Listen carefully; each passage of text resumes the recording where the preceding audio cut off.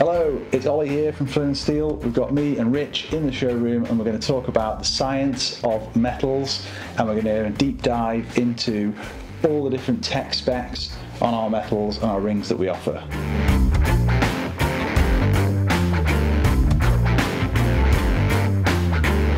We've got our nice handy little Flinn and Steel um, breakdown of what all the metals do and the different personalities of all the different metals. You can find us on the website. So we're going to read off this and we're going to introduce you to some of these rings. We've got alternative metal wedding rings such as tantalum, titanium, tungsten, cobalt, and stainless steel, and they're much different to white gold or yellow gold. In the jewelry industry, we've got a, a grading scale called the Mohs hardness scale. Gold and silver are about a three, four uh, on the Mohs scale, and then we've got titanium and stainless steel, which are six, six and a half, and up to seven, uh, and then diamonds are a ten, the hardest sort of material known to man.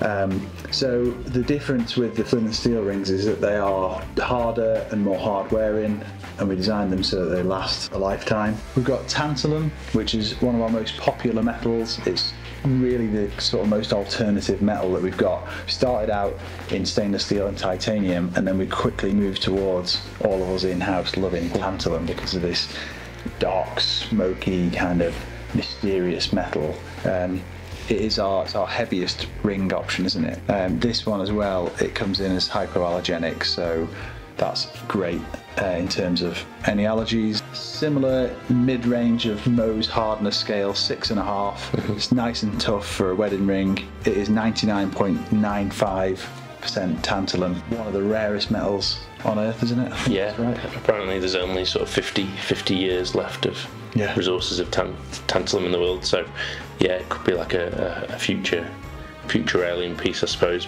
Next up on the list, we've got cobalt, which is our shiniest and brightest of metals. Um, yeah, it's a really good kind of alternative to traditional like white gold, platinum. Um, so if, if you want something that kind of isn't too extreme in terms of too dark, too light, and um, you want something a little bit more traditional looking, but obviously all the properties of cobalt, then um, yeah, it's a really good, really good shout. It's five on the Mohs scale, so like all our rings, um, that is the softest of materials, but still pretty tough compared to like a three of white gold. Mm-hmm. It does have some cobalt, chromium, uh, molybdenum, iron and manganese. So there's a couple of uh, metals in there to be aware of. So it isn't classed as hypoallergenic you'd have to go and search for some of the other metals like titanium, mm-hmm. uh, tantalum, etc. Yeah, really. I mean, it's really it's cobalt chrome, isn't it? It's like yeah. the the chrome chromium in there is what gives it its kind of the shine and the, and the brightness to it. It's kind of a midweight as well, so yeah, not too light. Um, yeah, but not as heavy as kind of tantalum or, or tungsten. So yeah, a kind of nice all rounder. We've got tungsten's a bit slightly harder at eight or nine, but it's super brittle. So if it's dropped or hit on a tile then it will crack um, and it's yeah it's super brittle compared to the other metals where if you drop them or dent them or bang your hand they kind of just take on that patina don't they? Yeah that's right. Yeah so the tungsten is obviously like a an eight or a nine on, on Mohs scale so it's super hard. Um, but like Colin said it's it's brittle so whilst it's hard in terms of standing up to like squeezes and, and yeah, scratches, and things. stuff. Um, if you do drop it because of its hardness, it just doesn't have any flex in it. So if you drop it on like a, a tiled surface or a stone floor, or something like that, it's just going to crack. And what we tend to find is we just see two like really clean breaks if, if they get dropped straight straight in half. So good in a way that if you need to take it off in an emergency, it's easy to kind of crack it. But yeah, we don't advise taking your tungsten wedding ring off in the bathroom if you've got tile yeah. bathroom floor. Yeah, yeah. the tungsten that we use is a, a grade one tungsten, so it's um, it's 90% tungsten, but there is some nickel and some iron in it. So obviously, not hypoallergenic if you've got a nickel or an iron allergy. Um, we wouldn't recommend tungsten. But what it does give you is like a really nice kind of luster, sparkly luster to it. Yeah. Um, it's kind of known as the forever brilliant metal but you've got the weight there as well. So, so that's one of the heaviest yeah. ones. Like you know, it's kind of up there with tantalum in, in, one of the heaviest metals that we do. So Um, that's kind of a big factor with, with a lot of people who are wearing rings for the first time.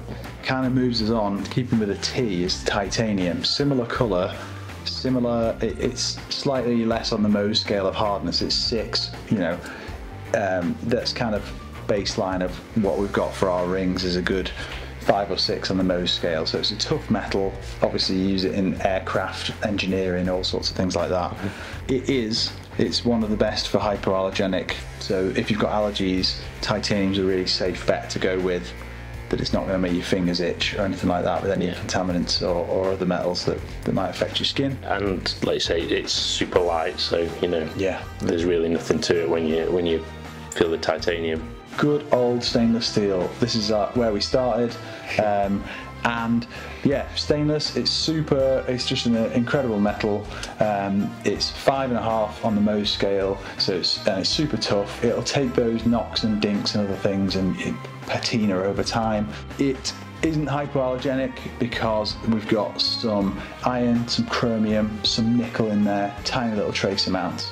so not hypoallergenic, but for the average everyday wear, it's uh, quite a popular choice. So we used like was it 316L Yeah, um, surgical marine grade, I suppose. yeah, it's Um, yeah, in used in yeah, like say marine industry, uh, surgical tools and equipment like that. So it's super.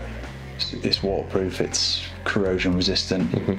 It'll last last a lifetime. Weight wise, it's kind of mid-range. It's it's yeah, it's not super lightweight like tit- titanium that you might forget about, but it's not super heavy like tantalum. It's kind of there in the middle. Next up, we've got our Damascus, which is a stainless Damascus, which is 304 and 316 mix of stainless steels. Um, really nice, quite highly. It's like a ribbed texture. Um, you know, raised this wood grain pattern, so you can really feel it when you say you run your finger or your nail over the over the ring. we don't polish out the insides um, of our Damascus, so you can kind of, Yeah. as we do with most of the others, so you can you can really feel that that wood grain pattern through it, and Yeah. obviously it's the the welded, uh, forged welded kind of folded um, patterns of steel. That's how that's how it's made. Um, Yeah, it's a popular popular metal, been made popular by people on here like Alec Steele and Forged in Fire, and so Damascus is really it's kind of allows you to share a bit of personality uh, and stand out a little bit because you know there aren't many people wearing Damascus wedding rings, so something that is it's just as robust and tough because it's stainless, so it's not going to corrode. Um, yeah, it's a pretty popular choice. We're going to move on to our dark smoky rings, which is super titanium, is pretty tough and hard on the Mohs scale, seven and a half. Um, it doesn't come under hyperallergenic because there's a um, we've got some some tungsten, some nickel, and some molybdenum and a few other things in there. Um, you can check out on the full list. Um, but in comparison to titanium, it is it is pitch black. You know, it's got a black coating on that is super dark. Yeah. So we got we got two two versions of super titanium. We've got the black coated one, uh, which is a PVD coating um, and heat treated coating, which goes on there. So the natural super titanium is kind of obviously a mixture between t- titanium and tungsten. Um, so you got the the kind of shimmer of tungsten, uh, but the lightness and the strength of titanium. That's why it's super. Amazing. Um, and this, you know, it comes in just like the normal colour or the um, the PVD coated black, Black, which is yeah. pretty cool. Yeah, it's pretty ace. They look pretty striking. These are rings that will stand out on your finger uh, and kind of get noticed, and you, you can make a bit more of a statement. Moving on to black zirconium. Similar process to the super titanium black. Um, this one is classed as hypoallergenic, so that one's really good. It's pure zirconium. Yeah, it's pretty tough. It's up there, eight and a half on the Mohs scale, so it's pretty robust ring. Really nice colour to it, so really nice dark. It's kind of in between like the, the tantalum and the super titanium, so it's not as dark. Um, it's got quite a, like a like a dusty, smoky grey to it, which is um, yeah really nice. Amazing. But um, obviously it's it's black zirconium, so it's a lot stronger and um, just a really cool metal. That has been me and Rich discussing the science and a bit of the tech behind our rings.